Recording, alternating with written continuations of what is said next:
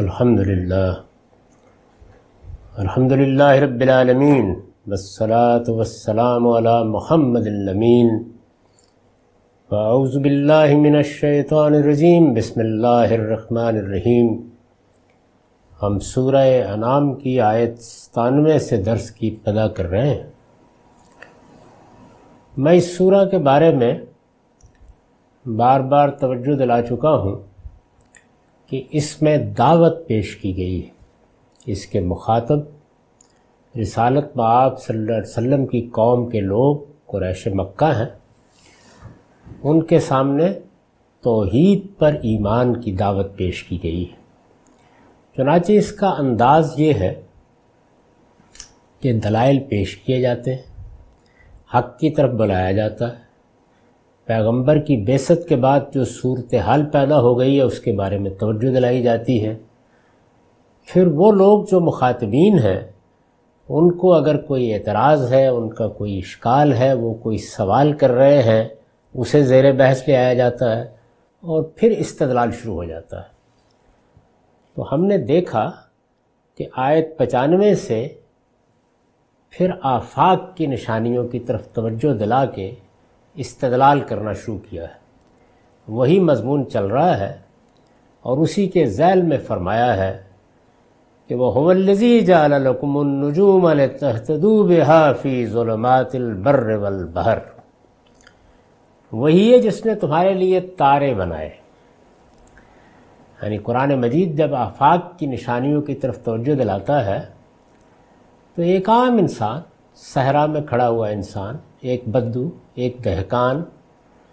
हर वो शख्स के जो गिरदो पेश को देख सकता है और जिसको अल्लाह ताला ने सम व बसर की सलाहियतें दी है, वो उसको मतवजह करके उन चीज़ों की तरफ़ तवज्जो दिलाता है जो उसके रोज़मर्रा मुशाहदे में आती।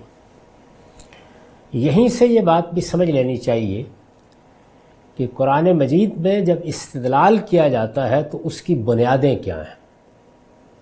इस्तदलाल की एक बुनियाद ये हो सकती है कि हम इंसान की नफ्सियात में जो चीज़ें पाई जाती हैं, उनके तकाज़ों के लिहाज से इस्तलाल करें। यानी अगर मुझे आपको ये बताना है कि इस दुनिया में पानी होना चाहिए तो मैं प्यास से इस्तलाल करूँगा। यानी नफ्स इंसानी के अंदर किन चीज़ों की तलब पाई जाती है, ये सबसे बुनियादी और सबसे पहली बिनाए इस्तलाल है। इसके बाद दूसरी चीज़ ये है कि हमें जो हवास दिए गए हैं, वो हमारा मुशाहिदा भी करते हैं, यानी हमारे अंदर भी झांकने की सलाहियत रखते हैं और बाहर भी। इससे अनफस आफाक की निशानियाँ सामने आती हैं। इन निशानियों से आप महसूस को ना महसूस की तरफ़ ले जाने की तरफ़ तवज्जो दिलाते हैं। अकली इस्तदलाल इसी को कहा जाता है। अकली इस्तलाल किसी चीज़ को आँखों से दिखा देने का नाम नहीं है। वो तो हिस्सी मुशाहिदा है। और वो साइंस का मौजू है असलन। यानी वो क्या करेगी? वो ये करेगी कि आपको चीज़ें दिखाएगी। वो आपके हवास के सामने लाएगी। उसकी ईजादात का महवर भी ये होता है कि वो आपके हवास की ताकत बढ़ा दे। यानी आँखों के देखने की एक हद है, उसको बहुत बढ़ा दिया जाए। वो सैारों और सितारों के मावरा देखने लग जाए। इसी तरीके से अगर किसी चीज़ को देखने से वो कासिर है कि वो बहुत छोटी है तो खुर्दबी ने ईजाद कर ली जाए, जो जरासीम तक को दिखा दें तो वो हवास को बढ़ाती है। उसका असल जबता यही है।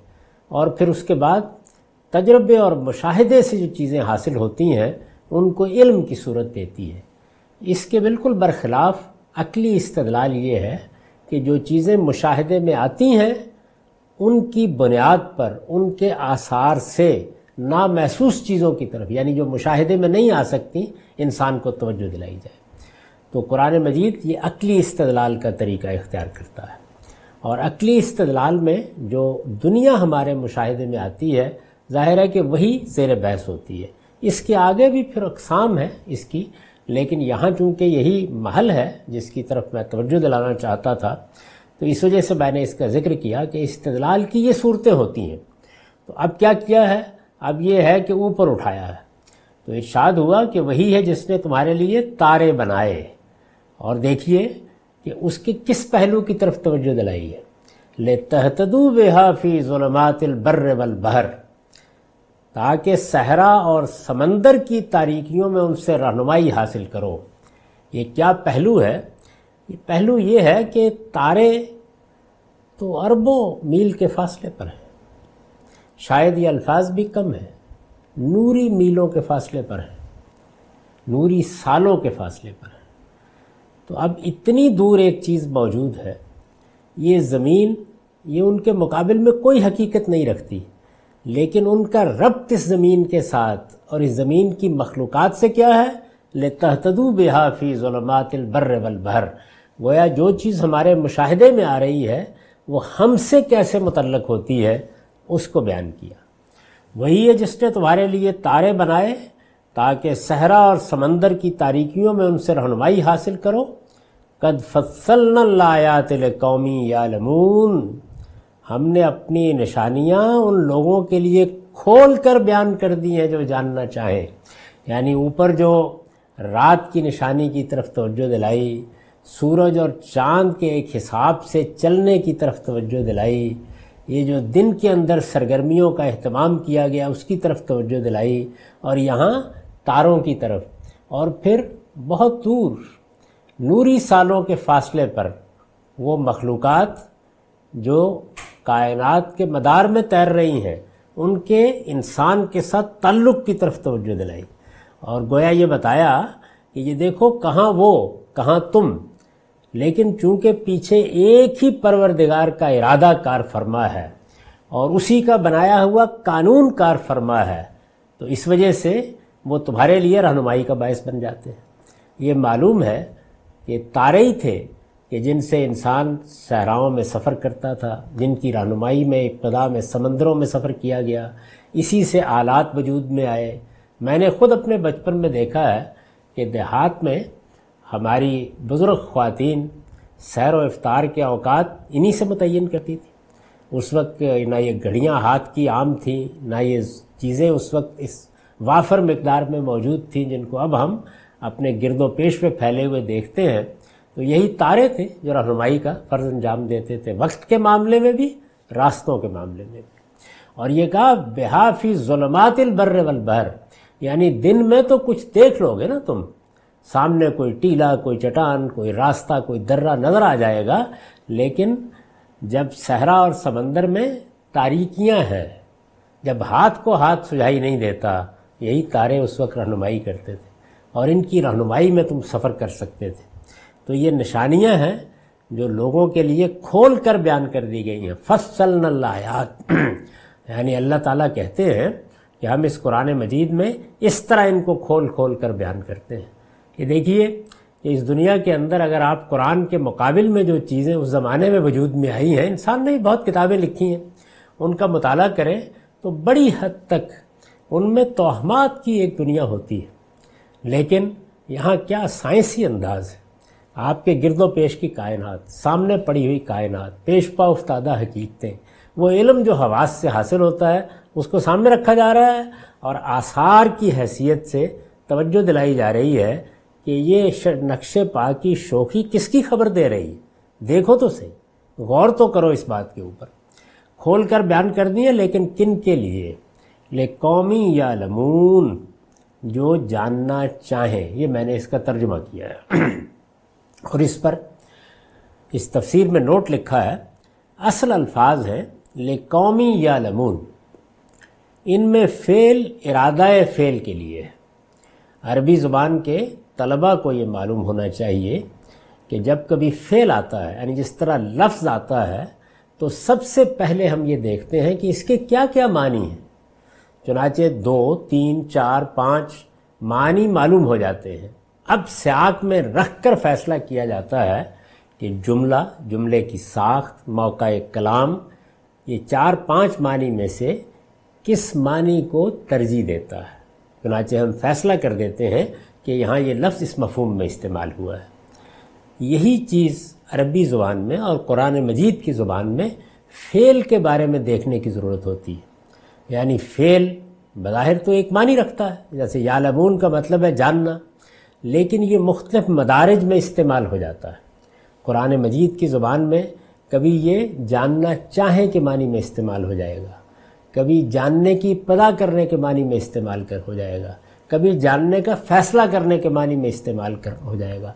कभी आखिरी दर्जे में जान लेने के मानी में इस्तेमाल हो जाएगा। तो ये उसके मदारज हैं।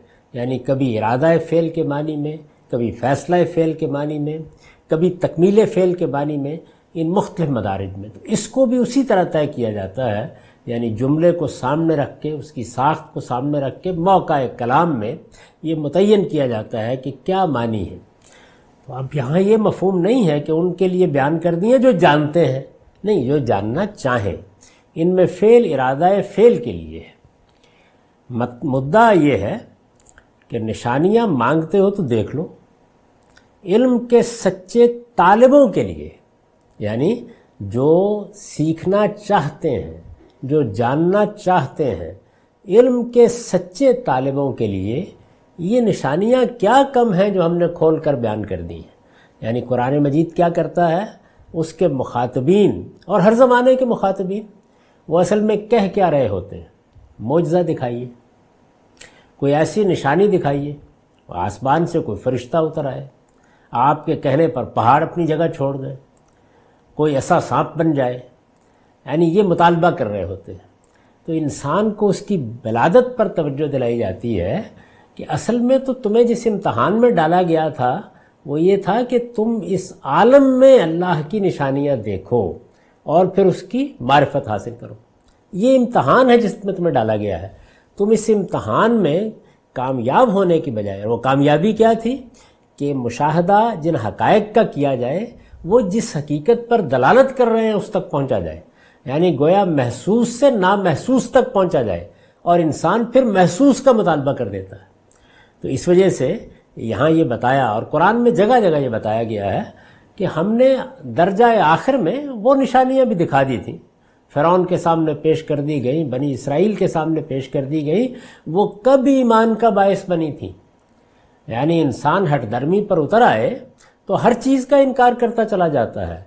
इसलिए उन निशानियों पर तवज्जो करो जो तुम्हारे वजूद की सूरत में, जो तुम्हारे बातिन की सूरत में, जो तुम्हारे शूर की सूरत में, जो तुम्हारी शख्सियत की सूरत में, जो तुम्हारे गिरदो पेश में फैली हुई कायनात की सूरत में खुद तुम्हारे यहाँ मौजूद है। यानी जिनके लिए कोई मुतालबा करने की ज़रूरत नहीं है, सिर्फ़ इल्म का सच्चा तालिब बनने की ज़रूरत है। इल्म की सच्ची ख्वाहिश पैदा करने की ज़रूरत है। अगर वो हो जाएगी तो ये निशानियाँ क्या कम हैं जो हमने खोल कर बयान कर दी? इर्शाद हुआ वह वल्लजी अनशा कुम मिन नफसिन वाहिदा वही है जिसने तुम्हें एक जान से पैदा किया है। कुरान मजीद में ये ताबीर सैदना आदम के लिए इख्तियार की जाती है। जैसे हम कहते हैं, हम आदम की औलाद हैं।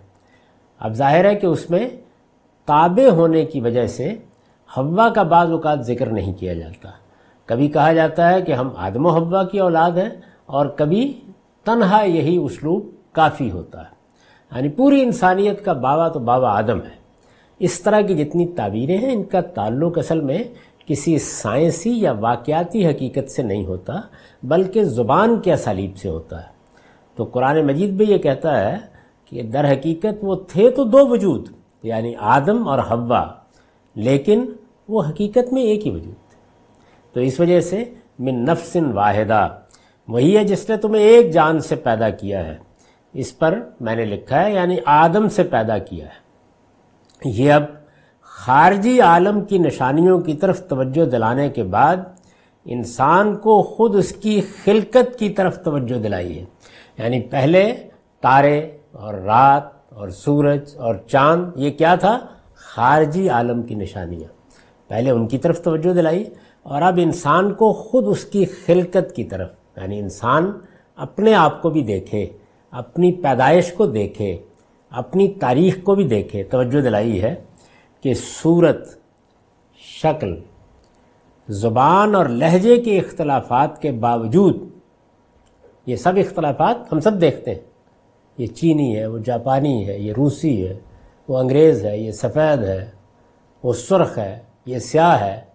रंगों का फ़र्क, लहजे का फ़र्क, ज़ुबान का फ़र्क, ये बड़ी गैर मामूली निशानियाँ हैं अल्लाह ताला की।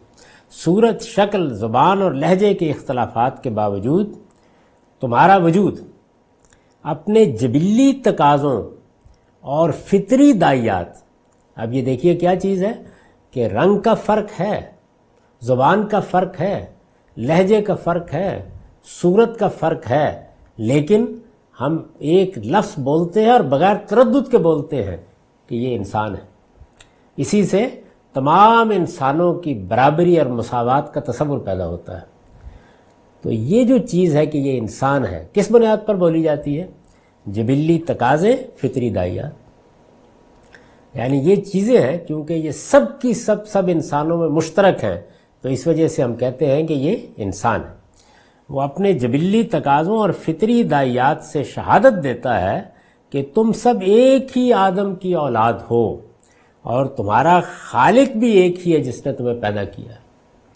यानी अगर गौर करोगे तो आखिर में एक ही जगह पहुंचोगे। चुनाचे, ये हम जानते हैं कि जदीद तबैयात में इंसान की सारी जद्दोजहद, नज़रियाती तबैयात में क्या है? वो एक चीज़ दरियाफ्त कर ली जाए। जो असल में सब कुतों के लिए माँ की हैसियत रखती है। इसी की दरियाफ्त है। ये पिछली डेढ़ दो सदी में सारी जद्दोजहद इसी में हुई है। और अब इंसान कमो बेश इस पर पहुँच गया है। बिल्कुल इसी तरीके से जिस वक्त इंसानों का मुताला किया जाता है तो इससे पहले भी मालूम था और अब भी इसी की शहादतें मिल रही हैं कि ऐसा नहीं है कि मुख्तलिफ़ जगहों पर मुख्तलिफ़ लोग आबा हैं और उनकी औलाद है। नहीं, ये गोरे, ये काले, ये असवद, ये अहमर, ये सब एक ही आदम की औलाद हैं। और चूँकि एक ही कानून, एक ही नौीयत के दाइयात, एक ही नौीयत के जबिल्ली तकाजे, फिर ये कि पूरी कायनात में एक ही नज़म क्या बता रहा है? तुम्हारा खालिक भी एक ही है जिसने तुम्हें पैदा किया है। आयत में इसके लिए लफ्ज़ अनशा कुम इस्तेमाल हुआ है। जिसके मानी सिर्फ़ पैदा करने के नहीं हैं। यानी जो लफ्ज़ इस्तेमाल किया ना वल्लदी अनशा कुम तो अगर तर्जुमा तो हमने यही किया कि जिसने तुम्हें एक जान से पैदा किया है, ये दर हकीकत हमारी अपनी ज़ुबान की महदूदियत है, लेकिन कुरान में जो लफ्ज़ इस्तेमाल हुआ है, वो अनशा कुम है, जिसके मानी सिर्फ़ पैदा करने के नहीं हैं, बल्कि ये भी हैं कि तुम्हें नशोनुमा बख्शी, परवान चढ़ाया और इस तरह फ़रोग दिया है कि उसकी कुदरत व हमत का एक मुजज़ा बन गए। यानी ये सारे पहलू लफ्ज़ इंशा में छुपे हुए, मौजूद हैं। लेकिन हमारे यहाँ चूँकि इन सबको अगर अदा किया जाए तो इतना ही लंबा जुमला लिखना पड़ेगा तो हम उसको एक लफ्ज़ पैदा किया से अदा करने की कोशिश करते हैं। आयत में इसके लिए लफ्ज़ अनशा को इस्तेमाल हुआ है, जिसके मानी सिर्फ़ पैदा करने के नहीं हैं बल्कि ये भी हैं कि तुम्हें नशो नवा बख्शी, यानी वजूद पजीर किया, फिर बढ़ाया, परवान चढ़ाया, और फिर उसके बाद अरिस्तु अफलातून बना दिया। ये उसकी कुदरत व हमत का मुआजा है। इंसान अगर गौर करे, वो कहाँ मुआजे माँगता फिरता है? उसका अपना वजूद एक मुआजा है। कभी देखिए कि वो कैसे पैदा होता है। यानी हमारी आँखों के सामने इसी ज़मीन से जो चीज़ें उगती हैं, पैदा होती हैं, इसी ज़मीन से, इसी मिट्टी के अनासर से, उनको हम खुराक की सूरत में एक फैक्ट्री में डाल देते हैं। और हमारे सामने, हमारी आँखों के सामने वो बैज़ा और वो कतरा आप तैयार होता है, फिर उसका मिलाप होता है, फिर उसके नतीजे में एक जरसूमा वजूद में आता है। वो खुर्दबीन से भी नहीं देखा जा सकता, और फिर देखते ही देखते जीता जागता इंसान बन जाता है। यानी ये सारा अमल कहीं माजी में नहीं हुआ कि जाके तलाश किया जाए कि कैसे हुआ था। ये हमारी आँखों के सामने होता है। यानी खाम माल हमारे सामने अंदर जाता है और इब्तदा से लेके इंतहा तक सारा प्रोसेस, तमाम मराहल हमारे सामने, हमारी आँखों के सामने गुजरते हैं। ये कोई मामूली मुआजा है, इसकी तरफ़ तवज्जो है तो इर्शाद फरमाया कि वही है जिसने तुम्हें एक जान से पैदा किया, फिर कहाँ पहुँचाया? फ मुस्तकर्रम व मुस्तौदा। फिर हर एक के लिए एक जाए करार है और उसके सपुर्द खाक किए जाने की जगह।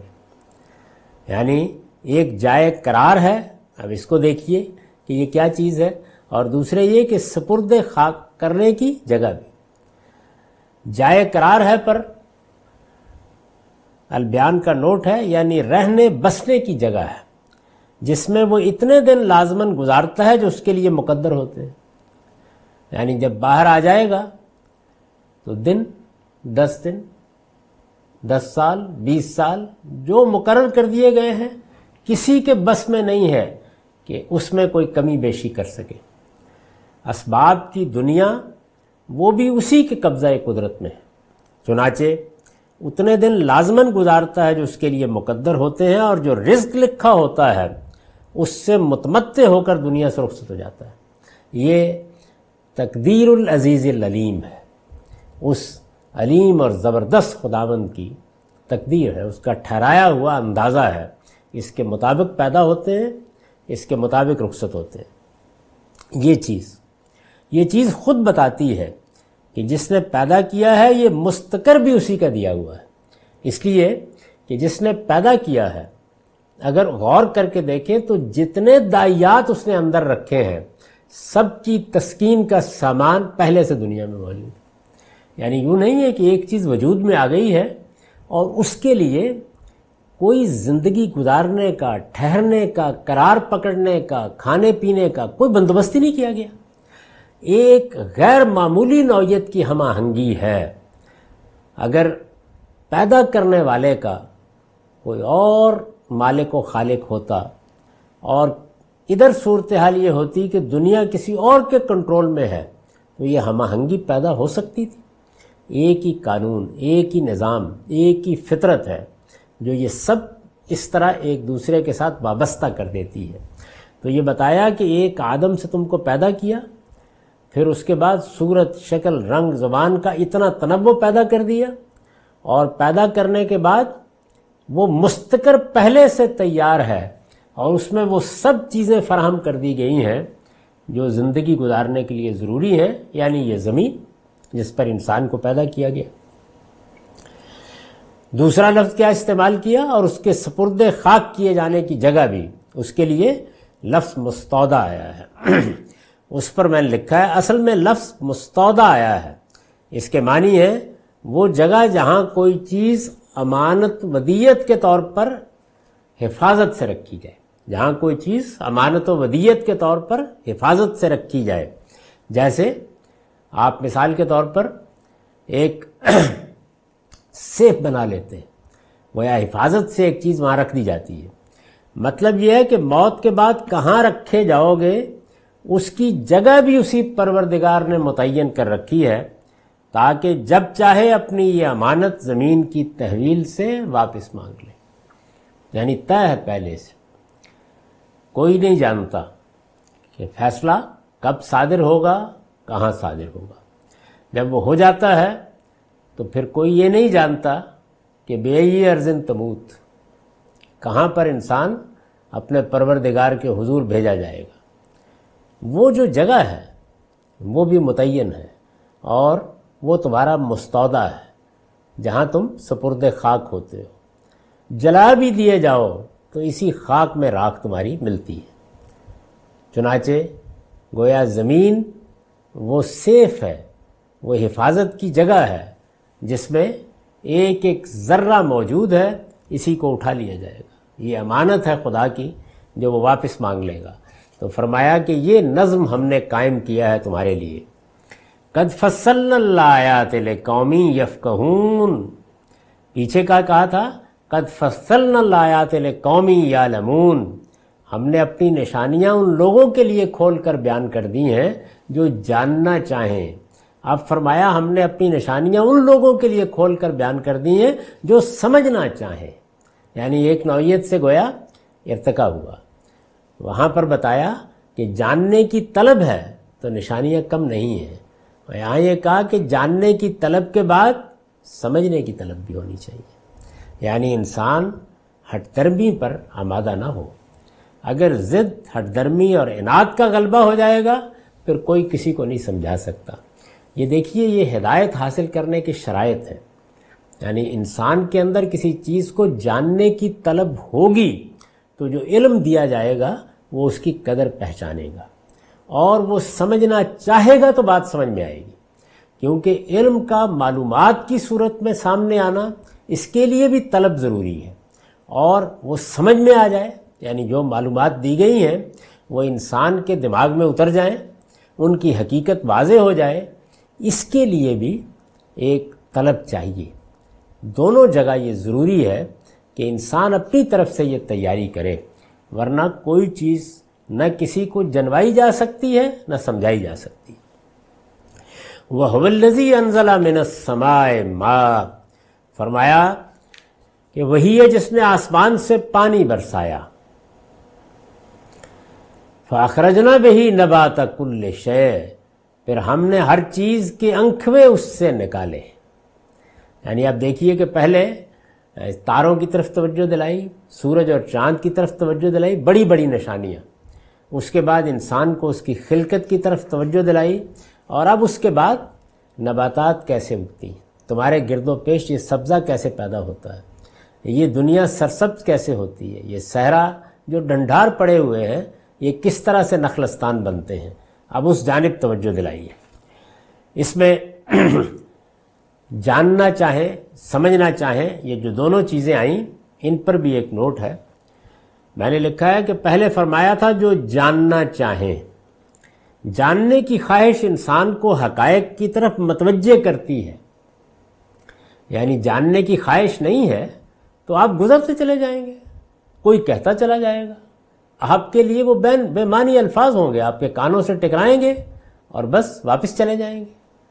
आपने बारहा देखा होगा कि इंसान जब किसी चीज़ की तरफ़ मतवजे नहीं होता तो बाज़ अवत दाएँ बाएँ चीज़ें गुजर रही होती हैं, लेकिन उसको ख्याल भी नहीं होता। तो इसलिए पहली चीज़ क्या है? जानना चाहे। जानने की ख्वाहिश इंसान को हकायक की तरफ़ मतवजे करती है, और समझने की ख्वाहिश उसके अंदर महसूसात से आगे बढ़कर देखने का हौसला पैदा कर देती है। यह है अकली इस्तदलाल की बुनियाद। यानी पहला मरहला क्या है? जानना चाहे। इंसान के अंदर ख्वाहिश पैदा हो कि मुझे सही बात मालूम हो। ज़ाहिर है मालूम जो कुछ होगा, उसको फिर वो समझना चाहेगा। समझने में दोनों पहलू हैं। जो चीज़ मुशाहदे में आ रही है, उसकी हकीकत समझना और फिर जो चीज़ मुशाहदे में आ रही है, उसके पीछे क्या है, उसको जानने की कोशिश करना। तो ये चीज़ जो है समझने की ख्वाहिश, ये उसके अंदर महसूसात से, यानी जो हवास के सामने चीज़ें आती हैं, महसूसात से आगे बढ़कर देखने का हौसला पैदा करती है। यानी अब मैं महसूसात के मावरा देखना चाहता हूँ। मुझे जो कुछ नज़र आ रहा है वो तो ये है कि सेब ज़मीन पर गिर रहा है। क्यों गिर रहा है? मैं इसको जानने की कोशिश करता हूँ। तो यहीं से अकली इस्तदलाल, यहीं से इस्तेबाती इस्तलाल वजूद में आता है और ये इस्तेबाती और अकली इस्तलाल है दर हकीकत जो मजहबियात की बुनियाद है।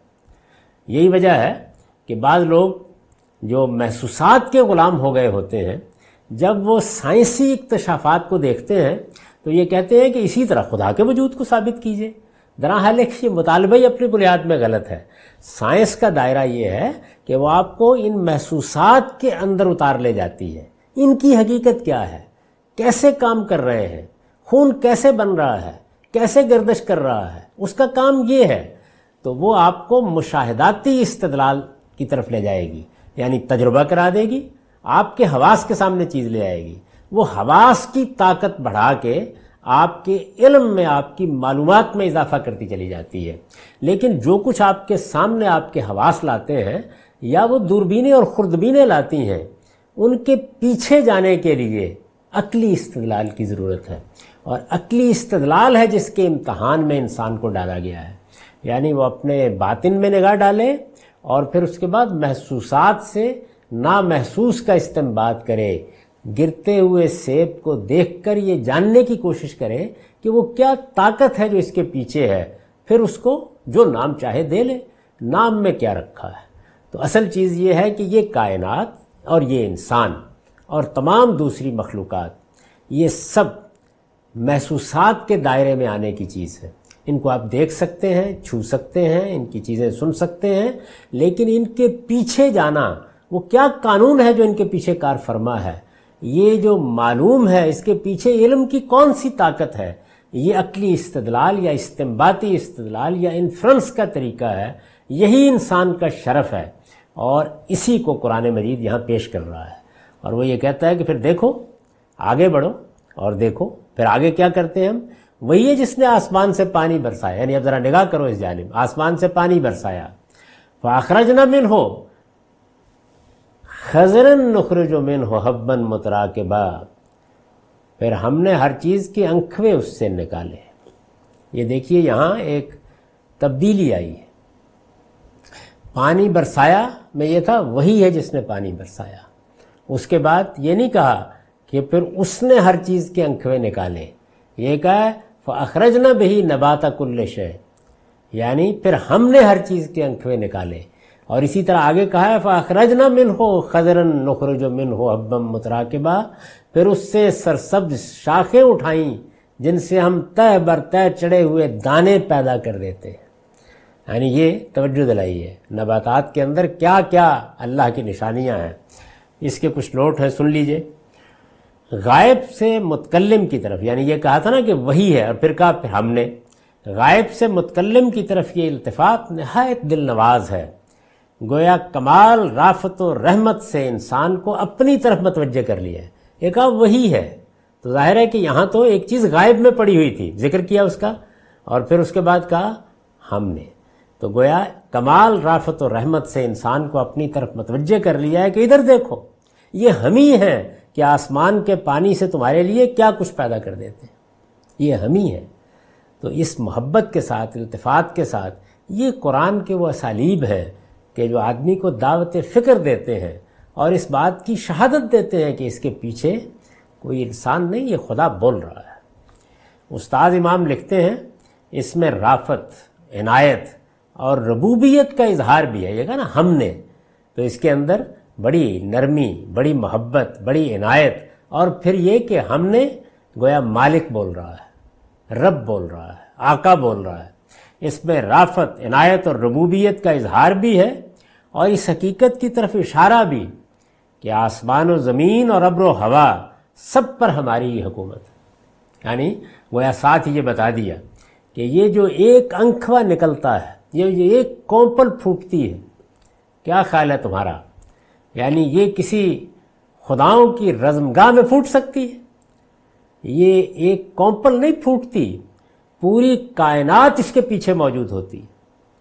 और वो पूरी कायनात अगर एक ही मालिक और एक ही बादशाह के हुक्म के तहत ना हो तो ये अंखवा नहीं निकल सकता।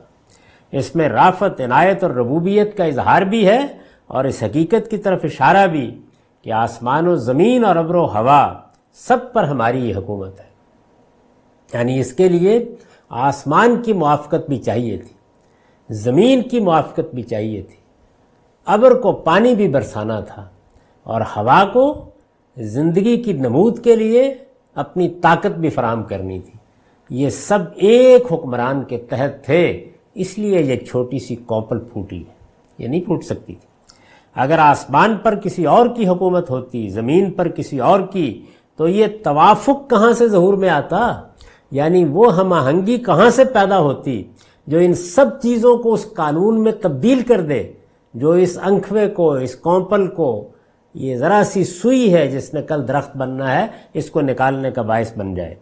ये तवाफ़ुक कहाँ से जहूर में आता कि आसमान से पानी बरसता और ज़मीन अपने ख़जाने उगल देती। फिर उससे सरसब्ज शाखें उठाई। फ़ाखरजना मिन हो खजरन। नुखर जो भी मिन हो हब्बन मुतराकबा, जिससे हम तय बर तय चढ़े हुए दाने पैदा कर देते हैं। यानी वो एक कौपल, वो एक अंखवा, फिर उससे आहिस्ता आहिस्ता सरसब्ज शाखें, और फिर उसके बाद खोशे और बालियाँ। कभी देखें किसी पौधे को, जो आपके लिए गंदम पैदा करता है, चावल पैदा करता है, इसमें खजूरें लगती हैं इसमें अंगूर लगते हैं। ये देखिए कैसे होता है। यानी पहले सरसब्ज, खोशी और बालियाँ निकालते हैं, फिर अपनी कुदरत व हमत से उन पर तय बर तय दाने जमा देते हैं। ये सारा अमल है जिसकी तरफ़ तवज्जो दिलाई है। तो इरशाद हुआ वमिन नखल मिन तले के नवान दानियतुन व जन्नातिन मिन आना बिन व जैतून व रुमान मुश्तबम वगैरह मुतशाबे। और खजूर के शगुफों से लटकते हुए गुच्छे भी इसी से पैदा होते और ज़ाहिर है कि उस वक्त जो मुखातबीन हैं, उनके सामने जितनी चीज़ें हैं, वो सब नुमाया कर दी हैं। और खजूर के शगुफों से लटकते हुए गुच्छे भी इसी से पैदा होते हैं। और अंगूरों के बाग और जैतून और अनार भी हमने इसी से पैदा किए हैं। जिनके फल एक दूसरे से मिलते जुलते भी हैं और अलग अलग भी।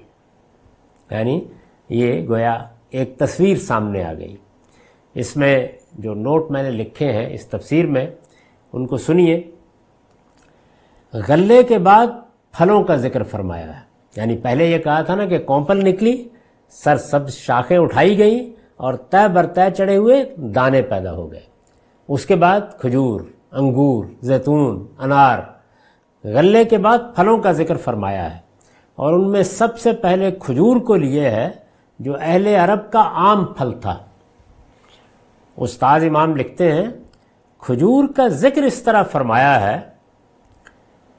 कि उसके दरख्त, उस दरख्त के अंदर गाबे का पैदा होना और फिर उससे लटकते हुए बोझल होशों का जहूर में आना, हर चीज़ की तरफ़ तवज्जो दिला दी। यानी पूरी की पूरी तस्वीर सामने आ जाती है। ताकि उस कारीगरी पर इंसान की नज़र पड़े, जो उसके पदाए जहूर से लेकर उसकी तकमील और पुख्तगी तक कुदरत उस पर सर्फ करती है। यानी किस तरीके से एक नन्ही सी कौपल खजूर के दरख्त को भी कभी देखिए, वो निकलती है। फिर उसके बाद कैसे उसका तना पैदा होता है, कैसे बढ़ती है, और फिर उसके बाद लटकते हुए खोशे गाबे, फिर किस तरीके से खजूरें इब्तदाए जहूर से लेकर उसकी तकमील और पुख्तगी तक कुदरत उस पर सर्फ करती है। इसी कारीगरी और सनत पर गौर करने से इंसान को साने की मार्फत हासिल होती। है यानी अगर इंसान समझना चाहे तो ये सनत गोया उसको पकड़कर साने तक ले जाती है।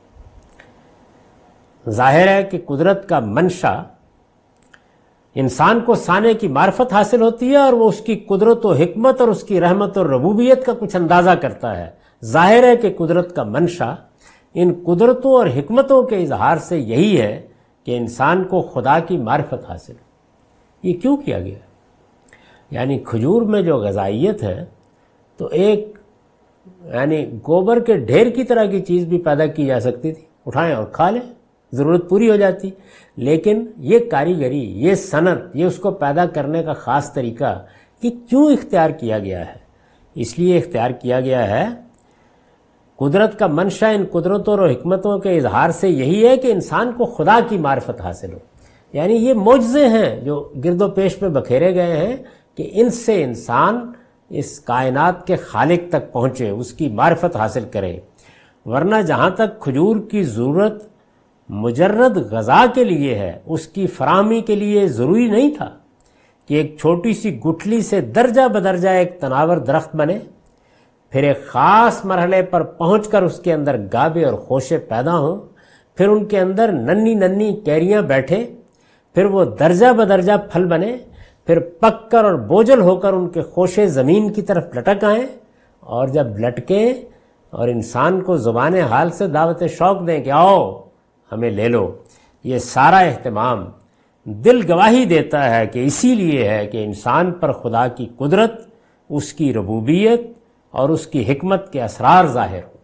ये सब इसलिए किया गया है, वरना जैसे कि मैंने अर्ज़ किया, जो कुछ खजूर के अंदर गजाइत है और उसको खाना है तो उसके लिए इस अहतमाम की ज़रूरत नहीं थी। ये हर चीज़ को पैदा करने का ये अमल कि एक एक चीज़ इंसान को तवज्जो दिलाती है, क्या शान है, क्या करश्मा साजी है, क्या कारीगरी है, ये दर हकीकत ये बताने के लिए है कि इस कायनात के पीछे वो अलीम व हकीम हस्ती है, उसे पहचानो और उसकी मार्फत हासिल करो।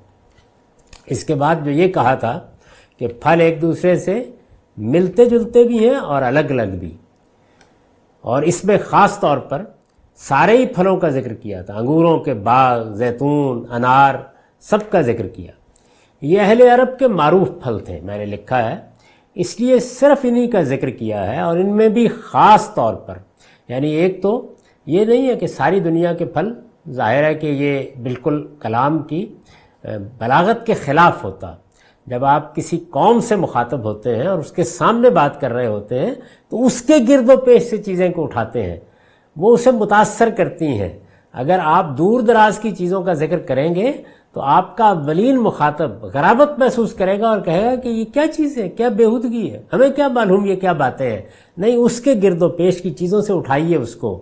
जो कुछ उसके मुशाहदे में आ रहा है, उसे उसकी तरफ़ तवज्जो दिलाइए। तो उन्हीं फलों को लिया है। ये अहले अरब के मरूफ फल थे, इसलिए सिर्फ़ इन्हीं का ज़िक्र किया है। और इनमें भी ख़ास तौर पर, यानी उनके भी जिस पहलू को नुमाया किया है ख़ास तौर पर उस गुना गुनी और बू कलमूनी की तरफ़ तवज्जो दिलाई है, रंगारंगी की तरफ़, जिससे खुदा की रबूबियत, रहमत, फयाजी और कुदरत हमत की शान नुमाया होती है। यानी इस पहलू को यहाँ इंसान की तवज्जो मबजूल कराने के लिए पेश किया। इधर देखो, ये देखो कि इनमें क्या रंग रंग के फल हैं, क्या अलग अलग जायके हैं, क्या खूबियाँ पैदा कर दी गई हैं। कितना तनव और कितनी जिद्दत तराजी है, इसको देखो। उसके बाद जब इनका ज़िक्र कर दिया, मुश्तबहन वगैरह मुतशाबे मिलते जुलते भी हैं और अलग अलग भी। उसके बाद का उनजुरू इला समरे ही इदा आसमरा व यने। हर एक के फल को देखो जब वो फलता है, और उसके पकने को देखो जब वो पकता है। यानी ये देखिए हर एक के फल को देखो जब वो फलता है, वो इब्तदा की तरफ़ तवज्जो दिलाई, और उसके पकने को देखो जब वो पकता है। इन नफीज़ाकुम लायातिल कौमी यू मिनून इनके अंदर उन लोगों के लिए बड़ी गैर मामूली निशानियाँ हैं जो मानना चाहते हैं। पहले फरमाया था, जो जानना चाहें, फिर फरमाया, जो समझना चाहें, अब कहा ले कौमी यू मिनून जो मानना चाहते हैं। यानी आदमी के अंदर ये तीनों सिफात होनी चाहिए। इल्म की सच्ची तलब, समझने की सच्ची ख्वाहिश, और फिर कोई अना नहीं, कोई जिद नहीं, कोई इनाद नहीं, मानने के लिए तैयार अगर बात समझ में आ जाए वाज हो जाए तो गोया अगर इल्म की सच्ची तलब है, समझने की सच्ची ख्वाहिश है तो नतीजा फिर ईमान होना चाहिए। यानी लाजमन वही होना चाहिए। अगर नहीं होता, पहले दोनों मराहल से गुजरने के बाद भी नहीं होता तो इसका मतलब क्या है? मतलब यह है कि जानना चाहा, समझना चाहा, लेकिन समझने का जो नतीजा सामने आया, वो इंसान की अनानियत के ख़िलाफ़ है, उसके तसबात के ख़िलाफ़ है। बारहा इसका मुशाहिदा होता है। यानी ऐसे लोग होते हैं जिनको अल्लाह ताला ने बड़ी गैर मामूली सलाहियत दी होती है और जानने की तलब उनमें होती है। समझना भी चाहते हैं। लेकिन जिस वक्त देखते हैं कि अच्छा अगर समझने का नतीजा ये है तो इसका मतलब तो ये है कि सारी ज़िंदगी का इलम गारत हुआ। हम क्या मानते रहे? ये एतराफ़ कर लें? मान लें ये बात। कभी अपनी अना रुकावट बन जाती है। कभी अपने आबाव अजदाद की अजमत का एहसास रुकावट बन जाता है। कभी अपनी तारीख रुकावट बन जाती है। ये जो इस तरह का इस्तलाल होता है तो सारी उम्मत गलती करती रही है। बड़े बड़े अकाबिर गलती करते रहे हैं। ये कमाल है कि हम आपकी बात, ये असल में फिर वो आखिरी मरला होता है। यानी पहले दोनों मराहल में बात समझ में आ रही है, लेकिन ये चीज़ें रुकावट बनती हैं तो फिर इंसान मानने के लिए तैयार नहीं होता। तो फरमाया इन्नफ़ी ज़ालकुम लायातिल कौमी यूमिनून। इनके अंदर उन लोगों के लिए बड़ी गैर मामूली निशानियाँ हैं जो मानना चाहें। इसमें अब इब्तदा से देखिए और अलबयान में जो इसके नोट्स हैं, वो मैं आपके सामने रखता हूँ। असल अल्फाज हैं, उनजरु इला समर ही इज़ा आसमरा व यने ही ये कहा था ना, पीछे चीज़ों को गिनवा के कि अब इनमें से हर एक के फल को देखो जब वो फलता है। यने के बाद इज़ा आइना के अल्फाज अरबियत के उसलूब पर हसफ हो गए। ये कुरान मजीद का ख़ास उसलूब है। अरबी ज़ुबान के तालब इलमों को तोज्जो दिलाई इला समर ही में ज़मीर का मर्जा ऊपर की सब चीज़ें हैं, लेकिन ये वाहिद इसलिए लाई गई है कि हर चीज़ को अलग अलग लेकर उस पर गौर करने की तरफ़ मतवजह किया जाए। यानी पीछे ज़्यादा चीज़ें हैं लेकिन आगे ज़मीर वाहिद आ गई, इला समरे ही। इसी तरह यने ही। तो ये जो वाहिद ज़मीर है, ये कुरान मजीद जिस ज़ुबान में है, उसमें बहुत सी चीज़ों के लिए उस वक्त लाई जाती है, जब एक एक चीज़ की तरफ़ अलग अलग मतवजह करना मकसूद होता है। उस्ताद इमाम लिखते हैं, फरमाया कि इनमें से एक एक चीज़ को लेकर, उसके फलने से लेकर, उसके पकने के मराहल तक हर मरहले को देखो और उस पर गौर करो। तो खालिक की कुदरत हमत रबूबियत, सन्नाई, कारीगरी, बारीक बीनी, फैज़ बख्शी और उसके हुस्न जमाल की इतनी निशानियाँ और इतनी शहादतें तुम्हारे सामने आएँगी कि तुम उनको शुमार नहीं कर सकोगे। यानी ये सारे ही पहलू आएँगे। कुदरत आएगी हमत आएगी, कैसे पालता है, रबूबियत आएगी, कैसे बनाता है, सन्नाई आएगी, कैसा कारीगर है, इसको देखोगे कितनी जिद्दत के साथ, कितनी बारीक बीनी के साथ और कितना आम फैज कर देता है। यानी पैदा ही करता चला जाता है। और फिर ऐसे नहीं है कि गोबर के ढेर बना देता है कि लो कालो हुस्न, जमाल, हर हर चीज़ में पैदा करता है। तुम एक निशानी और एक मुआवजा मांगते हो, आँखें हो तो हर शाख मुआवजा हर फूल मुआवजा हर फल मुआवजा कोई छोटी से छोटी चीज़ भी ऐसी नहीं है जिसके अंदर कुदरत के एजाज के हज़ारों शाहकार जलवा नुमाना एक चीज़ को देख लो। ये हकीकत है कि साइंस भी जब चीज़ों की तहलील करके उनकी जुजियात अंदर से सामने लाती है तो अगर ये तीनों सिफात हों, जानना चाहें, समझना चाहें, मानना चाहें तो फिर शाकार ही शाकार है।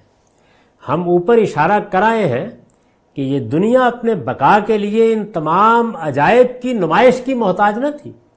यानी हमें अगर महज जीना ही था तो ज़िंदगी के लिए इनकी ज़रूरत नहीं थी। ये बिल्कुल सादा और बेरंग हालत में भी वजूद में आ सकती और बाकी रह सकती थी। लेकिन खाल के कायनात ने यह पसंद फरमाया कि एक एक फूल और एक एक पत्ती से उसकी अजीम कुदरत व हमत और उसकी बेनहायत रहमत और रबूबियत ज़ाहिर हो। क्यों? ताकि इंसान उसकी मार्फत हासिल करे। ये सारा अहतमाम ये सारा हुस्न, ये सारी जिद्दत तराजी इसलिए है, लेकिन ये इंसान की अजीब बदकिस्मती है कि एक तरफ़ तो अपनी जहानत के मुजाहरे का इतना शौकीन है कि अगर हड़प्पा और मोहजोदाड़ों के मदफून खंडरों से कोई टूटा हुआ मिट्टी का मर्तबान भी उसके हाथ आ जाए तो उस पर खिंची हुई आड़ी तिरछी लकीरों से वो उस अहद के आर्ट, उस अहद के कल्चर, उस अहद की तहजीब उस दौर के मज़हब, उस दौर की सियासत, गरज हर चीज़ पर एक मजमूमा फलसफा और एक फर्जी तारीख तैयार कर देगा। ये देखना हो तो कभी देखिए। यानी कभी जदीद महक्कीन की वो चीज़ें पढ़िए। फॉसल्स के रिकॉर्ड पर जो फर्जी कहानियाँ वजूद में आती हैं, ज़रा उनको देखिए। कैसे उनके ऊपर तस्वीरें चढ़ाई जाती हैं? कैसे उन हड्डियों के ऊपर गोश्त चढ़ा के पुराने ज़माने की मखलूक़ात आपको दिखाई जाती हैं? दूसरी तरफ़ उसकी बिलादत और बदजौकी का ये आलम है कि खाल के कायनात ने एक एक पत्ती पर अपनी हिकमत के जो दफातर रकम फरमाए हैं, ना उनका कोई हर्फ उसकी समझ में आता है, ना उनसे उसे कोई रहनुमाई हासिल होती यानी ये अजीब तजाद है।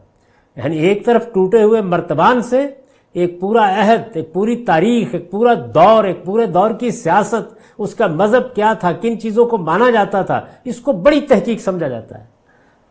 तहकीक है भी इसमें। एक तरफ़ ये है, उस्ताद इमाम ने इस चीज़ को बयान करने के लिए अपनी तफसीर तदब्बर कुरान में बहुत बड़े खूबसूरत मुहावरे इस्तेमाल किए हैं। मसलन ये कि ये ऐसे ही होता है कि जैसे आप टिड्डे की टांग पर हाथी का खौल चढ़ा दें। इतनी सी चीज़ मिली और उसके अंदर से ये बरामद कर लिया मक्खी को घिस घिस के भैंस बना दें। लेकिन इधर सूरत हाल क्या है? यानी जर्रा जर्रा पुकार रहा होता है। खुदा नज़र नहीं आता। यानी रबूबियत, रहमत, कारीगरी, सन्नाई, एक इंटेलिजेंट डिज़ाइन जर्रे जर्रे में बोल रहा होता है सामने पैदा होता बच्चा, वो मुताले का मौजू नहीं है। लेकिन अरबों साल पहले ज़िंदगी कैसे पैदा हुई थी, उसके क्यासी फलसफे ये बहुत अट्रैक्ट करते हैं, बड़ी कशिश पैदा करते हैं। तो ये गोया तस्वीर खींच दी इस बात की कि ये सूरत हाल है। इस सूरत हाल के बाद फिर जो आगे फरमाया है और जिस पर बात ख़त्म हुई थी वो ये था कि बड़ी गैर मामूली निशानियाँ हैं उन लोगों के लिए जो मानना चाहते हैं। ये दूसरी चीज़ है जो इंतहाई ज़रूरी है, मानना चाहते हैं। मैंने इसके मफहम की तरफ़ कुछ इशारा कर दिया। यानी आपको ये बताया कि जिस तरह इंसान के लिए इल्म की सच्ची तलब ज़रूरी है, समझने की सच्ची ख्वाहिश ज़रूरी है, उसी तरह मानने के लिए आमादगी भी ज़रूरी है।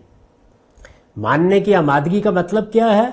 कि अब मैं किसी तासुब को, किसी बड़े छोटे के फ़र्क को, किसी ख़ास शख्सियत से ताल्लुक़ को, किसी ख़ास माजी को, किसी और इस तरह के इस्तलाल को दरमियान में हायल नहीं होने दूँगा। यानी अगर कोई साइंसी हकीकत, मुशाहदे और तजुर्बे से दरियाफ्त हो गई है तो सर तस्लीम कम। और अगर अल्लाह की किताब से कोई हकीकत मालूम हो गई है तो फिर ये नहीं देखूँगा कि रवायत क्या कहती है, लोग क्या कहते हैं, फ़ुकहा क्या कहते हैं, फ़लाँ क्या कहता है, अकाबिर क्या कहते हैं। नहीं, दलील का जायज़ा लूँगा और उसके बाद उसके सामने भी सर तस्लीम खम कर दूँगा। तो ले कौमी यो मिनून यानी मान, जानना चाहें, समझना चाहें, मानना चाहें। तीनों चीज़ें ज़रूरी हैं। इसकी कुछ मज़ीद तफसील अगली नशस्त में करेंगे। अकूल कौली हाजा वस्तफ़िर ली वलकुम वलसाइल